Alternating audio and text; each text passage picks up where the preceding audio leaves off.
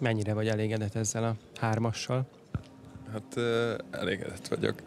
Gondolom, hogy lesznek kemény meccseink már egyből a, a VB elején, bár ez mindegyik csoportba illett volna.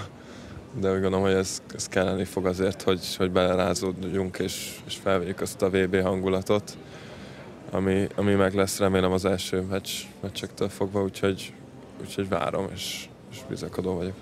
Tehát szerencsésebb két erős ellenféllel rögtön találkozni, nem?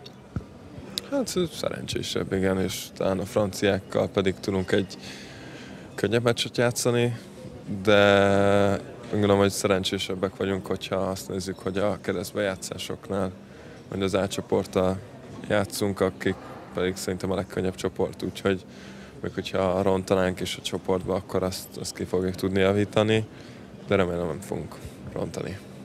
Reméljük. Milyennek látod most a válogatott helyzetét, állapotát? Ugye nem indultunk a világliga sorozatban, ez esetleg előnyt vagy hátrányt jelenthet a többiekkel szemben, és túl vagyunk egy Volvo kupán, a bemutatkozáson. Most, most hogy látod a sorsunkat, helyzetünket, állapotunkat?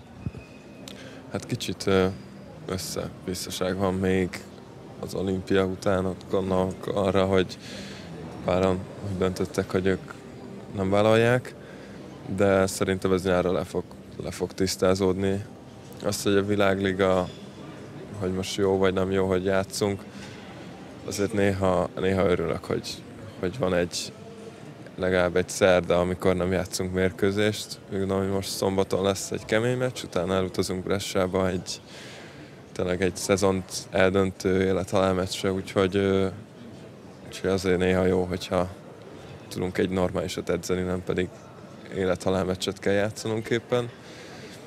De ugyanakkor pedig jó lett volna, hogyha a válogatottal kicsit szokjuk Tomit, illetve Tomi megismer minket.